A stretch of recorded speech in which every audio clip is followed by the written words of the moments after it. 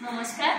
माझं नाव वैशाली सोनटक्के मुक्काम परसोडा पोस्ट तालुका असती जिल्हा वर्धा. इथली मी रवाशी आहे. आणि माझ्या समूहाचं नाव महिला माऊली स्वयंसहायता समूह.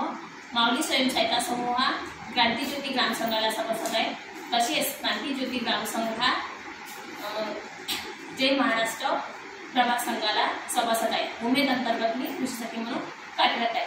आता मी तुम्हाला सोयाबीनला बीज प्रक्रिया कशी करायची त्याबद्दल मी माहिती सांगते. ही बीज प्रक्रिया आर सी एफमधून करत आहे आपण. आर सी एफ महाराष्ट्र बायला औषध आहे आणि जीवाणू संवर्धक औषध आहे. याच्यामध्ये रायझोबियम आणि डायकोडर्मा हे जीवाणू संवर्धक औषध आहे. एक किलो सोयाबीनला आपल्याला पंचवीस एम एल हे औषध लावायचं आहे.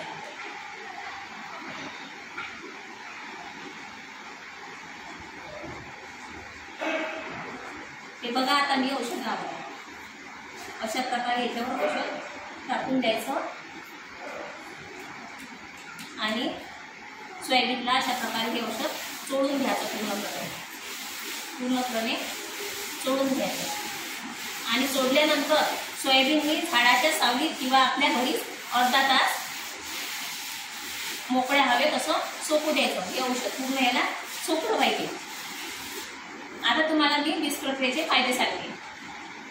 बीज प्रक्रिया केल्यामुळं काय होते?